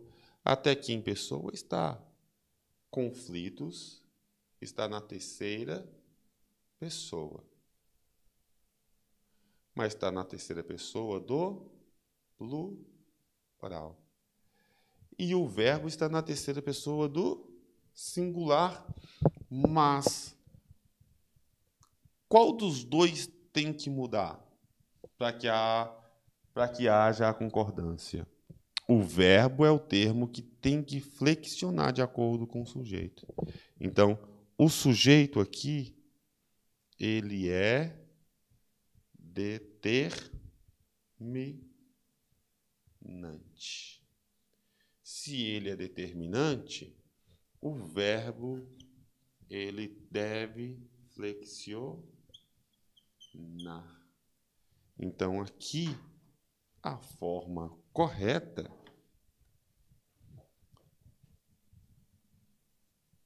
seria fazer a correção. Acontecerão no plural.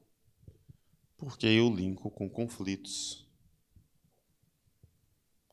Conflitos aconteceram. O princípio da concordância verbal é basicamente este. Toda vez que você linkar, tá? O seu sujeito ao seu verbo, o verbo tem que flexionar de acordo com quem?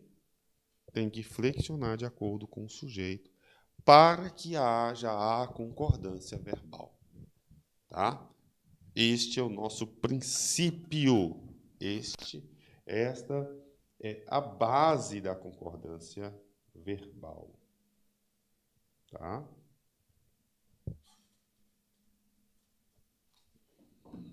Então, tem muito disso aí.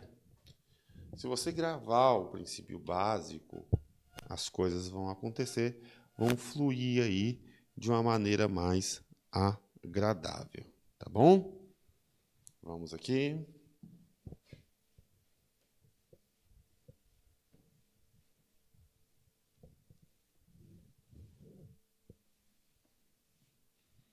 Passando o conceito básico, porque não é hora de ficar enchendo de regras.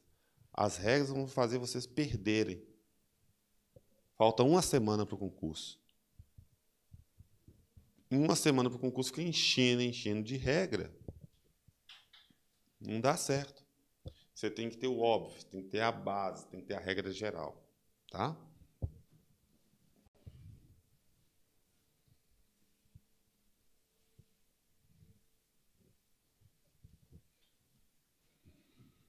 Por exemplo, na concordância nominal,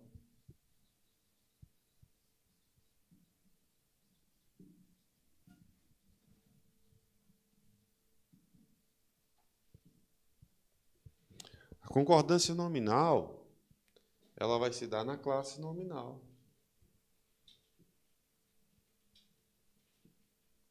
Sapan. Sapan é o substantivo, o adjetivo, pronome, o artigo e o numeral. Essas classes têm que estar igual em gênero, quando eu falo de gênero, eu estou falando de masculino e feminino.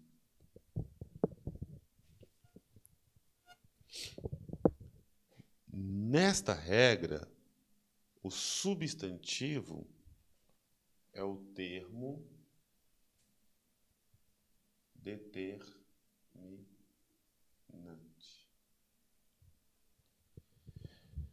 Na concordância nominal, o que, que eu tenho que olhar? Eu tenho que reparar quem é o termo determinante? É o substantivo. Então, eu tenho que encontrar o substantivo no meu, é, na minha oração. Se o substantivo estiver no masculino, todas as outras classes vão ir para o masculino, porque o substantivo que é o termo determinante. Tá? Outra coisa. Em número. Quando eu falo variar em número, estou falando de plural.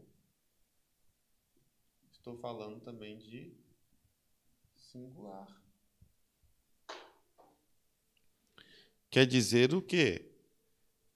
Se o substantivo estiver, tá? Se o substantivo estiver no singular, todas as outras classes vão para o singular. Eu falo assim. É... Meus. Uma, só um exemplo bem básico aqui.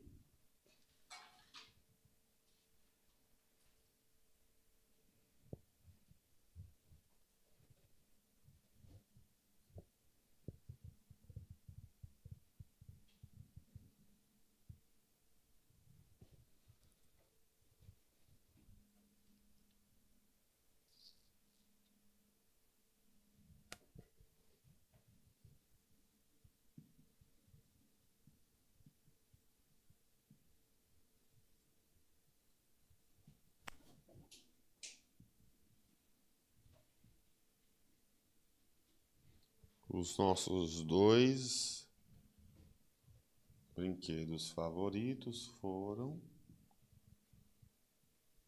quebrados. Quando eu quero estabelecer uma concordância nominal, a concordância nominal é a relação dessas classes de palavras: substantivo, adjetivo, pronome, artigo e numeral prevalecendo o substantivo. Eu tenho que encontrar o substantivo e determinar qual o gênero e qual o número desse substantivo. Os. Essa palavra é um artigo. Não é substantivo.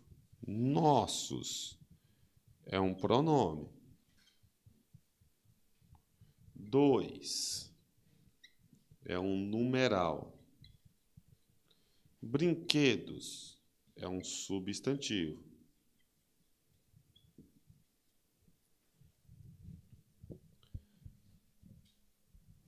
Favoritos, um adjetivo. Aqui é verbo, aqui é um adjetivo. Quando eu localizei o meu substantivo, e ele está aqui, brinquedos é o único substantivo que está aí, o que, que eu faço? Eu observo esse substantivo e falo: brinquedos, ele está no plural. E vejo o gênero dele. Ele está no masculino plural e masculino.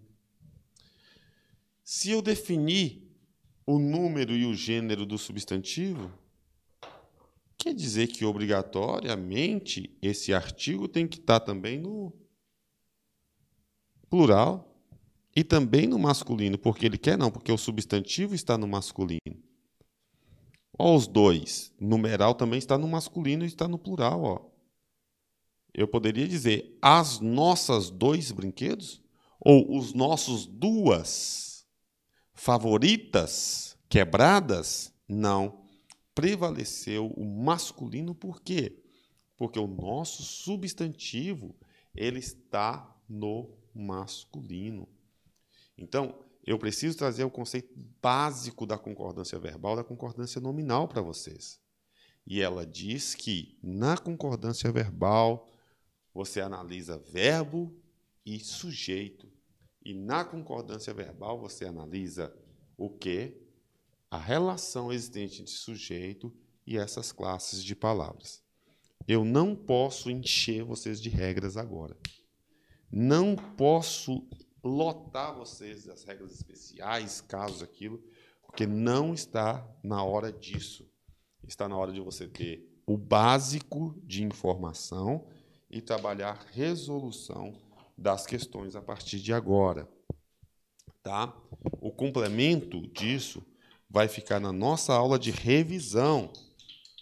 Tá? E na nossa aula de revisão em Belo Horizonte, no dia 14, eu pretendo que a gente resolva questões relacionadas a isso aí. Tá bom? Passando um básico de quê?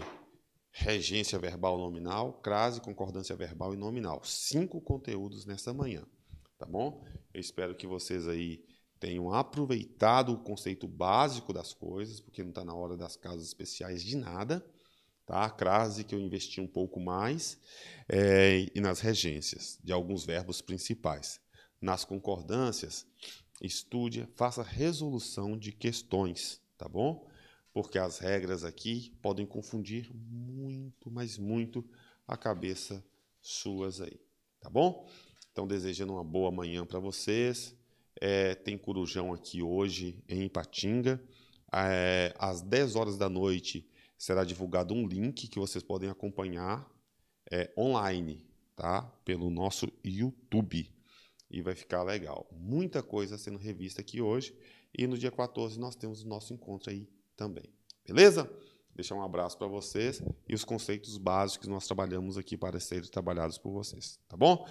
Grande abraço, professor Robson. Tamo junto aí. E vamos para esse final de semana, para mim, de trabalho mais logo e para vocês de trabalho o tempo inteiro. Porque a uma semana do concurso não é hora de folga. Aperta o carro, porque carro apertado que anda. Tá bom, filhão? É dessa forma aí, você que vai assistir, é, saiba que o professor, por estratégia, não quis lotar o quadro aqui de conceitos elaborados, porque não é disso que você precisa. Você precisa ter a base, precisa ter o foco e trabalhar a partir da base na resolução de exercícios, tá? Sem é, ficar enchendo a sua cachola aí, que não é isso que vai te salvar agora, de forma alguma, tá bom? Mas no mais aí, aproveite o final de semana para estudar igual um louco, igual um desesperado, chora, briga, é, quebra um copo, fica depressivo, para de comer, sabe? Essas coisas aí que fazem a, a sua aprovação acontecer. Beleza? Tamo junto aí e até Belo Horizonte. A gente chega aí na semana que vem, tá bom? Tamo junto. Vamos lá, meu príncipe. Encerra pra gente fazendo um favor. Desejando um bom final de semana para vocês. Tchau, gente.